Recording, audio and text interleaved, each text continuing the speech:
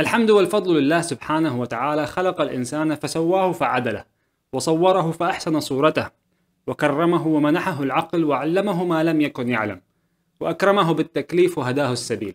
بقدر الكد تكتسب المعالي ومن طلب العلا سهر الليالي ومن رام العلا من غير كد أضاع العمر في طلب المحال تروم العز ثم تنام ليلا يغوص البحر من طلب اللآلي. طبعا الجميع قد سمع هذا الاقتباس للإمام الشافعي أو درسه في المدرسة في الصغر إما لجمال معاني كلماته أو لعمق الحكمة بين سطوره.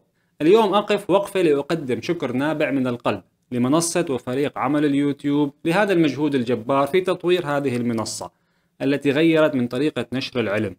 وأريد أن أشكر جميع الأهل والأصحاب ولكل شخص دعمني سواء قريب أو بعيد على تحقيق هذا الإنجاز. وأهم من أريد أن أقدم شكري واحترامي له هو أنتم أعزائي المشاهدين لأنه والحق يقال بدونكم ما وصلت لهذه المرحلة وهذا الإنجاز. ولا يشكر الله من لا يشكر الناس.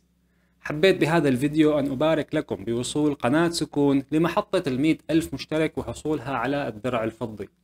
هذه لحظة عز وفخر لي فأنا أفتخر بوجودي معكم وبثقتكم بي. وبإذن الله تعالى هذه ليست محطة توقف وإنما محطة تشجيع على التقدم.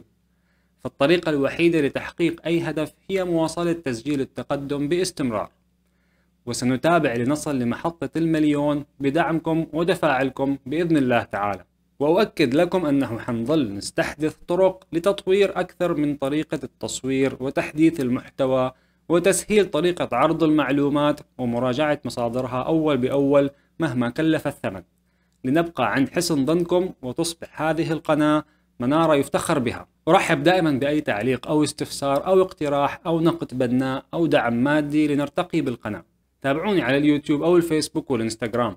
معكم الدكتور فارس وأراكم بالحلقات القادمة بإذن الله تعالى.